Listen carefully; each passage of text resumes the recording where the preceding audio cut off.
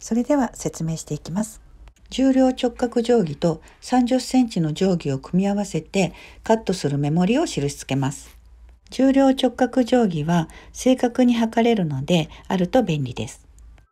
印が付けられたら直角定規を2本重ねて線を引きます。2本重ねた方がより正確に線が引けるのでこれをおすすめします。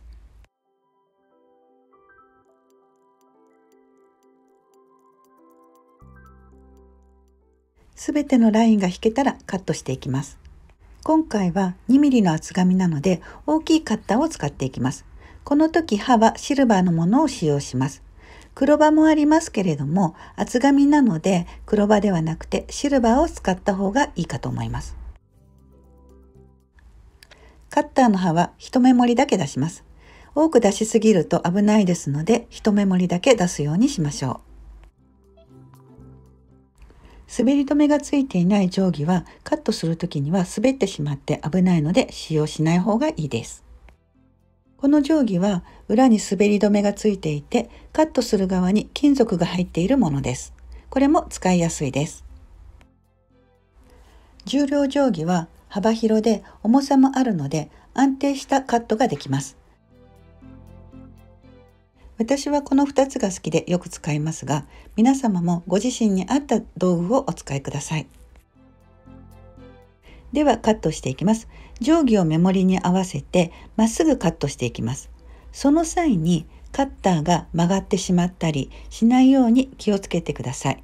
断面が斜めになってしまうとその後の作品に影響しますので倒したり斜めになったりしないようにまっすぐ力を入れないでカットしていきます。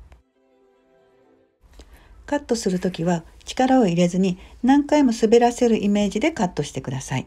力を入れてしまうと手も痛くなったり断面が汚くなってしまうのでここは注意してください。すべてのパーツをゆっくりカットしていきましょう。